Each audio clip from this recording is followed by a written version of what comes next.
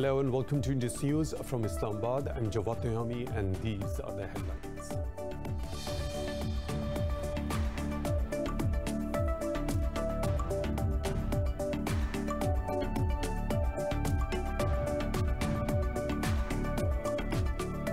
Says it is ready to engage with the Organization for Security and Cooperation in Europe Minsk Group for a ceasefire in Nagorno-Karabakh. In a statement, the foreign ministry said any potential truce in the disputed region should be based on 1994-95 agreements.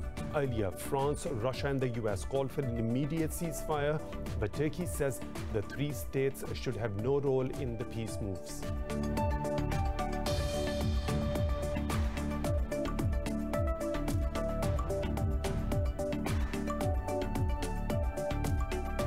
In India, protesters from opposition parties clashed with police as anger over the gang rape of a low-caste young woman continues to grow. Police coupled with two politicians when they tried to meet the family members of the victim in Uttar Pradesh Hathras district. In the latest case of violence against women, the 19-year-old died from injuries on Tuesday after being attacked near her home.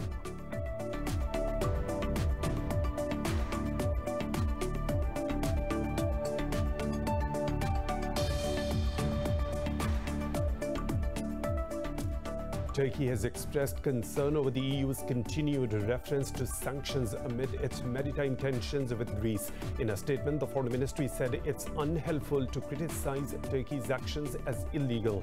Earlier, Ankara and Athens set up a military hotline in a bid to reduce the risk of clashes in the region. The two countries are at odds over energy exploration rights in the eastern Mediterranean.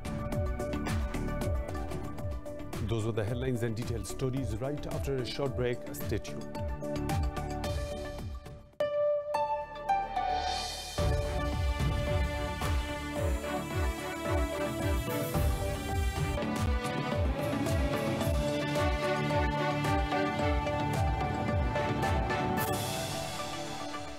Back. Now for the news in detail. Armenia says it is ready to engage with the Organization for Security and Cooperation in Europe, Minsk Group, for a ceasefire in Nagorno-Karabakh. In a statement, the foreign ministry said any potential truce in the disputed region should be based on 1994 and 95 agreements. It said hours after OSCE's call for ceasefire, Azerbaijan has opted for further escalation. Well, Armenia's defense ministry claims its air defense system has shot down an Azeri warplane and two drones. This comes after Azeri Defense Ministry said it has liberated some critical points in the western Agdare province from Armenian occupation. It added some strategic hills in Agdare's Madagiz region were also liberated as border clashes entered their sixth day. Baku's defense ministry has claimed to have killed at least 2,300 Armenian soldiers so far, while Armenia claims killing 130 Azeri soldiers and wounding 200 others. Pakistan has rejected claims its armed forces are fighting alongside Azerbaijan's military against Armenia in Nagorno-Karabakh region. Pakistan's Foreign Office spokesperson Zahid Hafiz Chaudhry said the baseless claims are irresponsible and speculative. Chaudhry said Islamabad is deeply concerned over the deteriorating security situation in the disputed territory. He said the intensive shelling by Armenian forces on civilian populations of Azerbaijan is reprehensible and unfortunate. The spokesperson said Armenia must stop its military action to avoid further escalation as it will compromise regional peace and security. Chaudhry said Islamabad supports Baku's position that is in line with the UN Security Council resolutions. US President Donald Trump and the First Lady Melania Trump have tested positive for the COVID 19. Trump said the couple has entered quarantine and will get through this together. The virus is approaching one year mark as it was first detected in November 2019. More in this report. The coronavirus pandemic has triggered unprecedented challenges as the global cases have surpassed 34 million mark with over a million fatalities. Earlier this year, British Prime Minister and Brazil's President were infected. and now US president has also contracted the virus. This comes after Trump's closest aide, Hope Hicks, tested positive and had traveled with him to the first presidential debate in Ohio. White House physician says the president and the first lady are well at this time and Trump will continue to carry out his duties without disruption. Meanwhile, with second wave surging in the Europe, the French government is set to put Paris on maximum COVID alert from next week. Health Minister Olivier Véran said the move will most likely lead to closure of restaurants and bars. We've seen these limits on a series of coronavirus measures being breached in just the last few hours. We need to have confirmation in the coming days. If it is confirmed, we would have no choice but to classify Paris and the immediate suburbs as a maximum alert zone as early as Monday. India's coronavirus death toll is nearing 100,000, a grim toll that ranks it only behind the US and Brazil. The country recorded nearly 1,095 deaths and over 81,000 cases in the last 24 hours. Meanwhile, New Delhi infections in Australia's hotspot state, Victoria, have fallen to a near four-month low. There are 261 active cases of coronavirus in Victoria, uh, with seven new cases since my last update. Uh, one of those cases is linked to a known outbreak, uh, six are under investigation and one case was reclassified. I'm sad to have to update you that there are now 802 Victorians who have passed away because of this global pandemic. That's two additional since yesterday's report. South Korea has reported 63 more cases, posting a double-digit daily growth for the second day in a row. Health authorities remain vigilant against possible mass infections in the country during the Chuseok holiday this week. In Pakistan, 15 people have lost their lives to COVID-19 over the past 24 hours, raising the death toll to 6,499. The health ministry says 625 more people tested positive overnight as 8,877 active cases remain in the country. The ministry said out of over 313,000 detected cases, 298,000 have recovered so far. It said more than 137,000 cases have been detected in Sindh province, while over 99,000 have been reported in Punjab so far. The National Command and Operations Center said 735 hospitals are providing facilities to 720 patients admitted across the country. The Taliban say the group and the US have agreed to adhere to and make efforts to implement the Doha Agreement. Taliban's spokesperson Mohammad Naeem says Mullah Baradar Akhund-led delegation has met with US envoy Zalmay Khalilzad. Naeem said the two sides discussed the release of the prisoners and other issues including peace and intra-Afghan talks. Meanwhile, Kabul has welcomed the European Parliament's call for an immediate and permanent ceasefire in Afghanistan. In India, protesters from opposition parties clashed with police as anger over the gang rape of a low-caste young woman continues to grow. Police scuffled with politicians when they tried to meet the victim's family members in Uttar Pradesh, Hathras district. Yesterday, Congress party leaders Rahul Gandhi and his sister Priyanka Gandhi Vadra were briefly detained. The two were on their way to the Hathras district to meet the family of the gang rape victim. In other parts of India, protesters carried photographs of independence leader Mahatma Gandhi and faced off with police. In the latest case of violence against women, the 19-year-old died from injuries on Tuesday after being attacked near her home. Turkey has expressed concern over the EU's continued uh, reference to sanctions amid its maritime tensions with Greece. In a statement, the Turkish Foreign Ministry said it's unhelpful to describe the steps taken by Turkey as illegal. The ministry was referring to an EU statement threatening to impose sanctions on Turkey.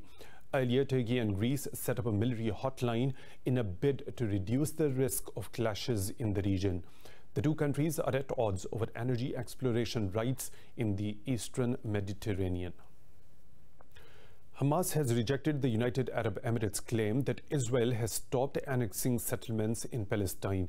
In a statement, a spokesperson for the Palestinian group said Abu Dhabi's claims aim to mislead the Arab public. The spokesperson said the UAE is attempting to cover up the crime of normalization with Israel. He said Tel Aviv approved the construction of the settlements in the West Bank after the normalization agreements were signed. He said the recent UN reports show Israel has demolished over 506 buildings in the occupied Palestinian territories this year.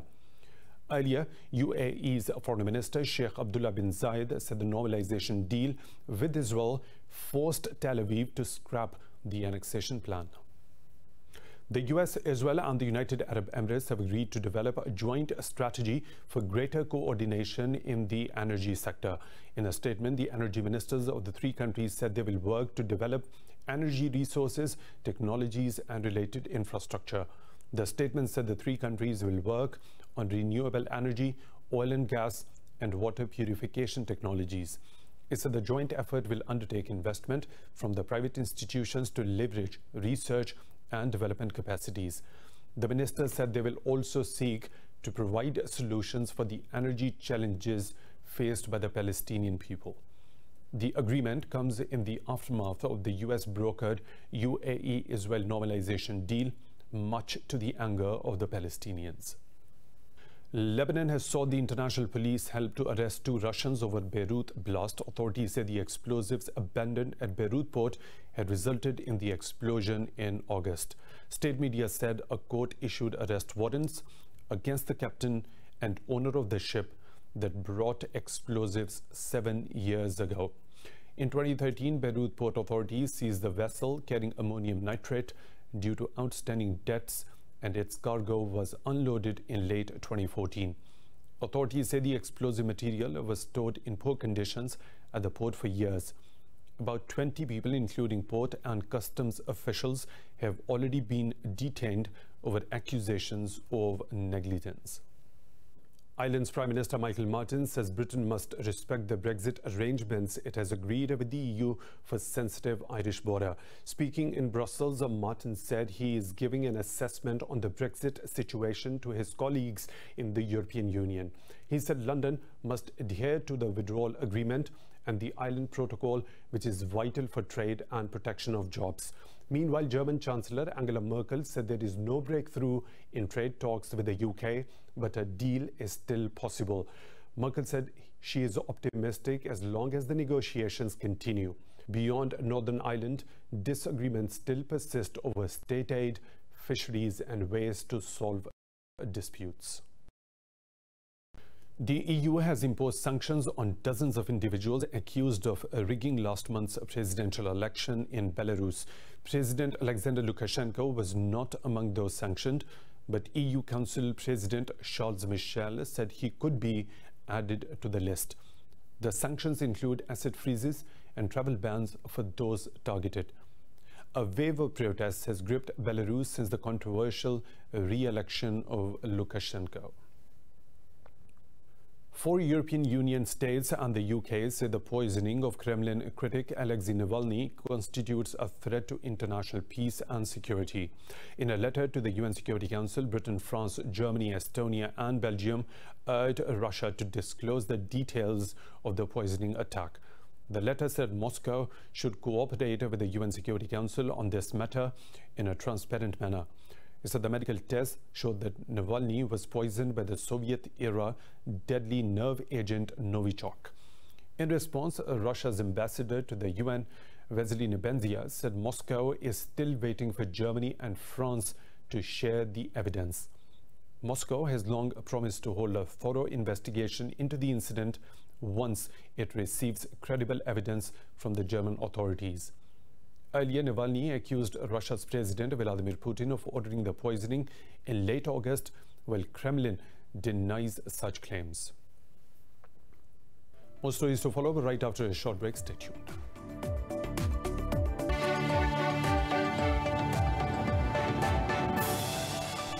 Welcome back. Mexico's Supreme Court has backed a constitutional referendum to prosecute five former presidents over crimes committed on their watch. Mexico's Supreme Court President Arturo Zaldivar says six out of 11 judges allowed the referendum to go ahead. Mexico's President Andre Manuel Lopez Obrador long-termed his predecessors as corrupt, blaming them of enabling economic inequality and chronic violence. Critics accuse the president of similar failings, saying the move is an attempt to polarize the country and a political gimmick ahead of 2021 midterm elections. Meanwhile, the president's supporters hail the court decision as a landmark in effort to hold past leaders to account for country's failings. Came together, more than 2 million signatures without political parties, without the government intervening, without the support of the media. With honorable mentions, of course, so as not to generalize. So, why deny the people's participation? There's no reason to be scared of the people. Democracy should be considered the power of the people. Earlier, Lopez Obrador said if the court rejected his bid, he will move to reform the constitution to find another way of pursuing the matter. Now, moving on, Canada has announced a $7.5 billion infrastructure plan in a bid to recover from the economic slump caused by the coronavirus pandemic. Prime Minister Justin Trudeau said with smart and targeted investments, the government will help create jobs and grow the economy. Trudeau said his government was committed to building a healthy, sustainable future for everyone. He said the plan will bring back more than 1 million jobs lost during the COVID-19 crisis. Trudeau said Canada Infrastructure Bank will provide the money from its $26 billion fund set up in 2017. The Canadian Prime Minister said the three-year growth plan will invest in clean power, domestic infrastructure and agriculture. Three-year growth plan will invest in everything from clean power zero emission buses and home retrofits to broadband and irrigation infrastructure for farmers. This is a win-win. With smart, targeted investments, we can get people back on the job and grow the economy while building a healthy, sustainable future for everyone. CIB Chairman Michael Sabia said the bank will aim to invest and reinvest the pledged funds to keep on building the infrastructure required for sustained growth. Now, moving on, Pakistan has launched a series of development projects to uplift living standards in its southwestern province of Balochistan. Let's know about the efforts and the progress in this report. The recent development projects in Balochistan express government's firm resolve to end poverty and promote health and education in the province. Government has launched several projects worth $550 million, reaching people living in all remote areas. Awaran is one of those districts where health, education and employment provision for locals is government's top priority. We are trying our best in providing every possible medical facility here at the district headquarter hospital. All major examinations and tests are being conducted too, but government is requested to take more measures to upgrade this hospital for even better reach out to masses. Socio-economic development for the people of Balochistan is multi-dimensional, but locals say education holds a key to the province's bright future. I'm a teacher here at a school being run by Frontier Corps. Let me tell you that children of this district are very enthusiastic when it comes to learning and getting educated. Not just children, but their parents also want them to be in school, but more and more educational institutes are required in this regard. Vocational training centers for local women and young girls have also been set up by armed forces. My message for the girls across Balochistan is to come forward, educate themselves and create their own identity. It's been a year that I'm coming here at Vocational Center and I've learned a lot. It's an interesting activity to undertake along with education. I finished high school level studies and will keep this journey to go on.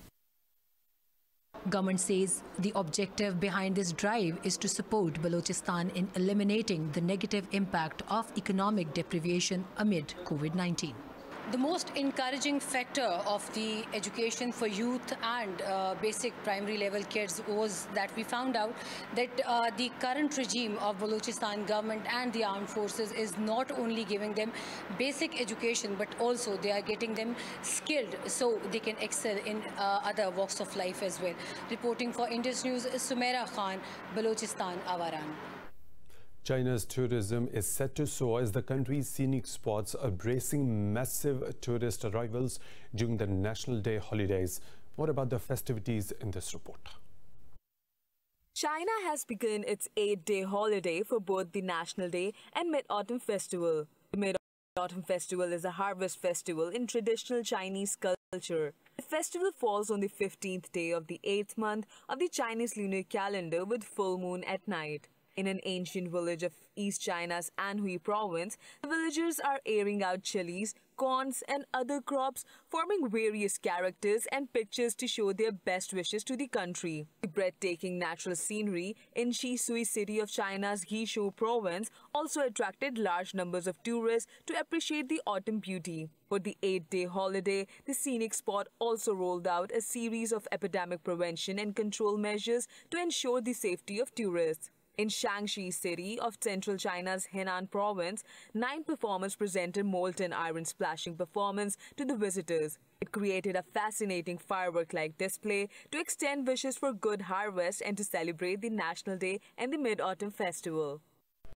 More stories to follow right after a short break. Stay tuned. The US airlines say they have started laying off thousands of workers after efforts to negotiate a new economic relief plan in Congress stalled. American Airlines said it is cutting 19,000 workers, but the United Airlines is reducing the number of staff by 13,000. Badly hit by the pandemic, the carriers say they will reverse the decisions of redundancies upon receiving more financing. The layoffs increase pressure on Treasury Secretary Steven Mnuchin and Speaker Nancy Pelosi, who are trying to agree on a relief plan. The U.S. has fined Emirates Airline $400,000 for operating flights in prohibited parts of Iranian airspace in 2019. In a statement, the U.S. Transportation Department said the flight was carrying the JetBlue Airways code and was subject to their regulations. The Federal Aviation Administration said Emirates operated flights over parts of Iranian airspace for 19 days in July 2019 said the fine was imposed as the U.S. had barred flights due to heightened military activities and increased tensions between the two countries.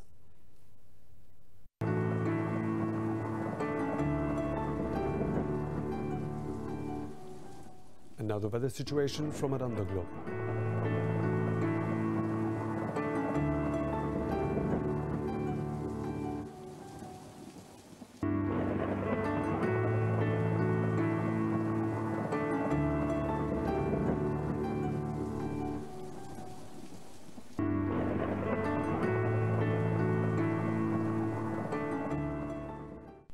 That is all for now. For the latest updates, you can follow us on social media at Indus.news.